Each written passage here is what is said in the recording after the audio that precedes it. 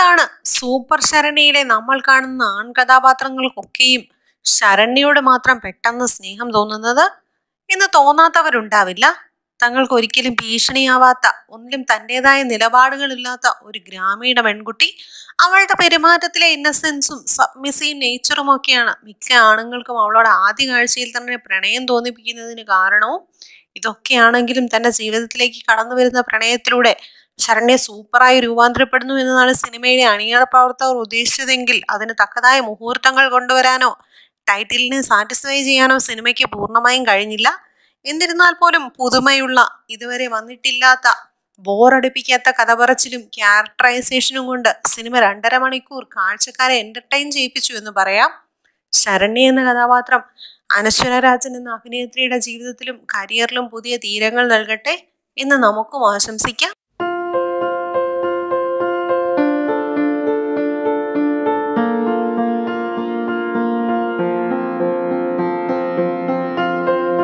കണ്ണൂർ ജില്ലയിൽ Kollengode K S E B ജീവനക്കാരനായ രാജന്റെയും ഭാര്യ ഉഷയുടെയും രണ്ട് പെൺമക്കളിൽ ഇളയവളായി രണ്ടായിരത്തി രണ്ട് സെപ്റ്റംബർ എട്ടിനാണ് അനശ്വരയുടെ ജനനം.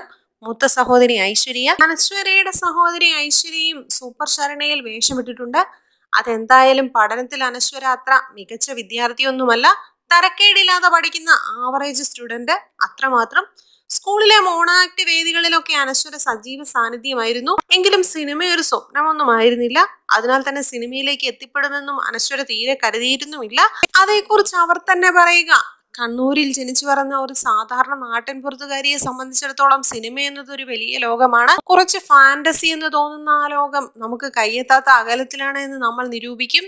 അതാണ് സത്യം. അതെന്തായാലും രണ്ടായിരത്തി പതിനേഴിലെ ഗ്ലോബ് എന്ന മാറുന്ന പ്രപഞ്ചത്തിന് മുഖം പരിചയപ്പെടുത്തിയ ലഘുചിത്രത്തിലൂടെയാണ് അനശ്വര രാജൻ എന്ന പെൺകുട്ടി ക്യാമറയ്ക്ക് മുൻപിലേക്ക് എത്തുന്നത്. ആ പരിചയം പിന്നീട് ഉദാഹരണം സുജാതയിലെ ആതിര കൃഷ്ണനിലേക്ക് നടന്നെത്താൻ സഹായമായി തീരുകയും ചെയ്തു. ചിത്രത്തിലേക്കുള്ള ഓഡീഷന് പങ്കെടുത്തത് ആറായിരം ആളുകൾക്കൊപ്പമാണ്. അതിനാൽ തന്നെ വലിയ പ്രതീക്ഷയൊന്നും ഇല്ലായിരുന്നു എങ്കിലും ഷോർട്ട് ലിസ്റ്റ് ചെയ്യപ്പെട്ട അറുപത് പേരിൽ കയറിക്കൂടി.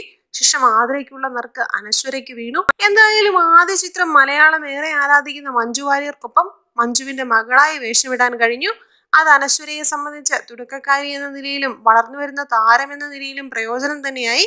വർഷങ്ങൾ കഴിഞ്ഞിട്ടും ഇന്നും തുടരുന്ന ആ ബന്ധത്തിൽ മഞ്ജു ചേച്ചി തന്റെ മെന്ററാണ് എന്നുകൂടി അനശ്വര കൂട്ടിച്ചേർക്കുന്നു.